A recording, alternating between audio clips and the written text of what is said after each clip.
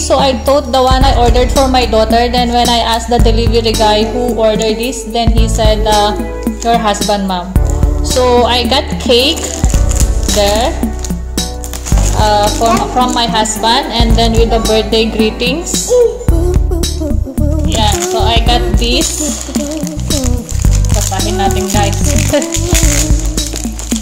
Kung ano yung nakalagay. With best compliments. Julian and then my husband name is there. Happy birthday to you. Thank you my love. So nasa bar ko siya guys. So ayan, hindi ko alam may pinadala pala siya. Happy birthday my love from Sorab. ayan. My notes, happy birthday my love from Sorab. This special greeting is being sent your way with many happy wishes for a truly perfect day. Ayun, may pa-cake si husband. Then let's check. Hindi ko alam. First time niyang nagpadala ng cake. ah, nagpadala pa siya before, pero ang nag-ano, ang nagdala is yung friend niya. So ngayon, first time siya na nagpa-deliver. So hindi ko alam na may pa-cake siya.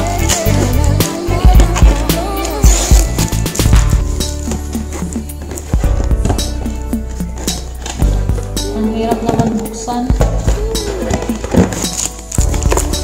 Tingnan natin and let's uh, tingnan lang natin kung ano yung flavor. Ayan, happy birthday my love. Ang cute. thank you, thank you my love. Ayan siya. And then uh, I got call also this uh, early morning around uh, 8 o'clock and uh, someone gave me this yan delivery also this guys so this one so ayan deliver also here in home ganda ng flower yung flower arrangement yeah ayan and then have a message also so ay so ayan siya so Thank you, thank you, my love. Thank you, thank you. Mega, mega appreciated ko siya.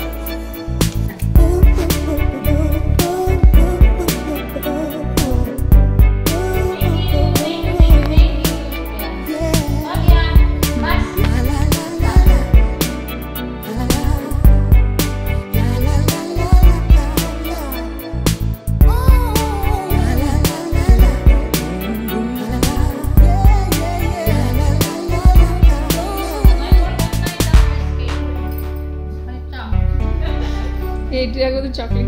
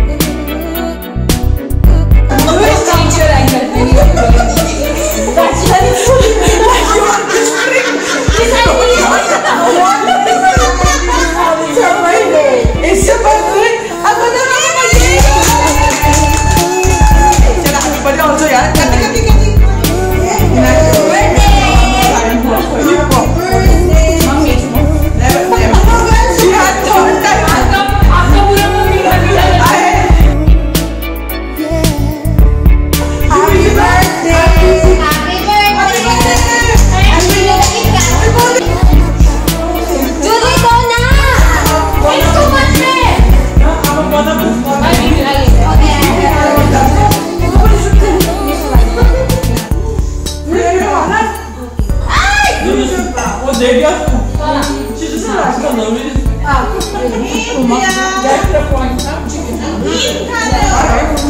I you.